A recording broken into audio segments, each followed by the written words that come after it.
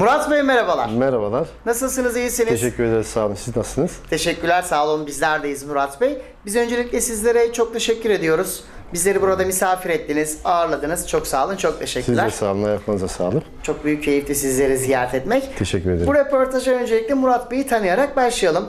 Ee, Murat Bey kimdir? Sektörle tanışmanız nasıl gerçekleşti? 1986 Samsun Ladik doğumluyum.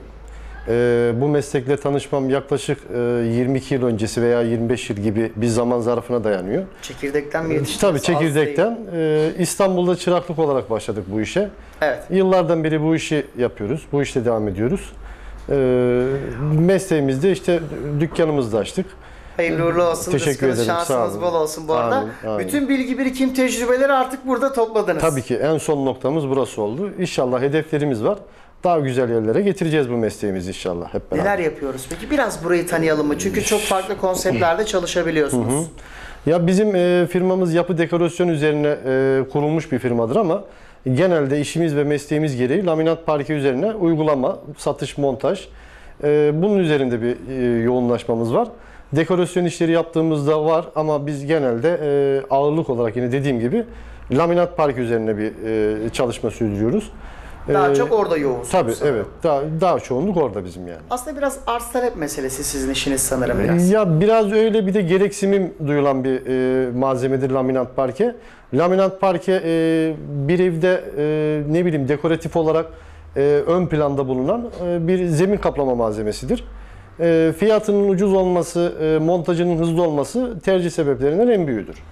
Evet A'dan Z'ye burada her şey var Var. evet. diyebiliriz. Zor bir iş yapıyorsunuz hizmet sektörü. Evet, aynen. Yapılabilecek bir hata çok ciddi sonuçlar doğurabilir. Kesinlikle. Bu başarınızın sırrı nedir? Çünkü sektörde çok ciddi bir istikrarınız var. Evet. Kolay olmasa gerek. Yani şimdi bizim asıl e, buradaki başarımızın temeli e, bu işin çıraklığından başlamamız olmamız.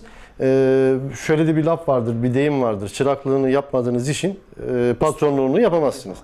Bizim temelden geldiğimiz için bu işte e, artık e, yani laminat parkenin Çünkü çok Ee, zorluklardan geldiniz Tabii siz. ki, tabii ki. Yani bizim zamanımızda eski masif parkelerden tut, bu şu anki kullanılan laminat ve lamina parkelere kadar hemen hemen hepsinin içerisinden geçtik biz yani. Hepsinin e, montaj ve uygulamasında bulunduk, satışında bulunduk.